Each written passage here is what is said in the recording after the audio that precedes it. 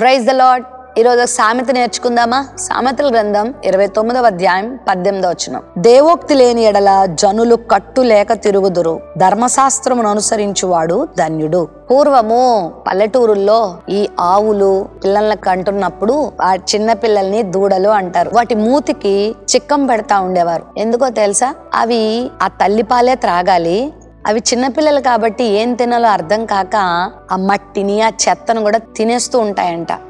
అందుకని ఆ యజమాని ఏం చేసేవాడంటే అవి తినకుండా నోటికి చిక్కం పెట్టేవారు. ఆ చిక్కం వాటికి ఇష్టం ఉండేది కాదు. కానీ చాలా ఇబ్బంది పడుతూ అది పీక్కోవడానికి ట్రై చేసేవి. ఆ చిక్కం పెట్టడం ఆ తర్వాత వాటికి తెలిసేదేమో మా యజమానుడు మా మంచి కోసమే ఆ చిక్కం పెట్టాడని. దేవుని యొక్క మాటలు గనక మనకు లేవనుకోండి ఈ హెచ్చరికలు మనకు లేవనుకోండి ఈ శాసనాలు ఈ కట్టడలు మనకు లేవనుకోండి మనం కూడా మన ఇష్టం వచ్చిన దారిలో వెళ్ళిపోతాం. ఎలా నడవాలో ఎలా మాట్లాడాలో ఎలా ప్రవర్తించాలో మనకు చెప్పేవాళ్ళు లేరనుకోండి ఇష్టారాజ్యం అయిపోతుంది జీవితం. చివరికి నష్టాల పాలైపోతాం.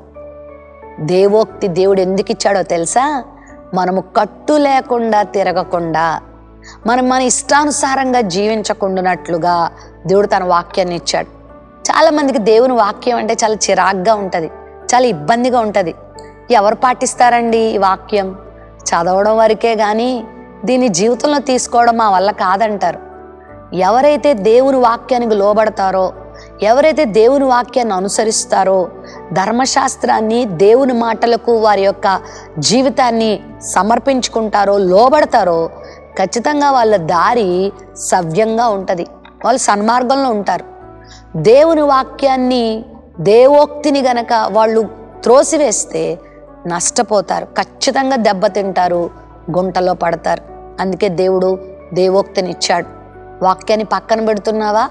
వాక్యాన్ని అనుసరిస్తున్నావా? దేవుని మాటలు నీకు చిరాగ్గా ఉంటున్నాయా? దేవుని మాటలు అంగీకారంగా ఉంటున్నాయా? నీ తండ్రి నీకు దేవుని మాటలు చెప్తున్నప్పుడు నీ తల్లి నీకు దేవుని మాటలు చెప్తున్నప్పుడు నీ సేవకులు నీకు దేవుని మాటలు చెప్తున్నప్పుడు లోబడు. పెద్దవాళ్ళు నిన్ను గద్దిస్తున్నప్పుడు లోబడు. వాక్యాన్ని నీ ముందుకు తీసుకొచ్చినప్పుడు నా వల్ల కాదు నేను వినను అనద్దు. విను నువ్వు బాగుపడతావు క్షేమాన్ని అనుభవిస్తావు.